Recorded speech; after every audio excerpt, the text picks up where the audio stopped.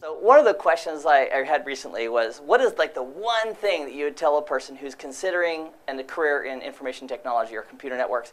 And I would say the number one thing is have a burning desire to do it.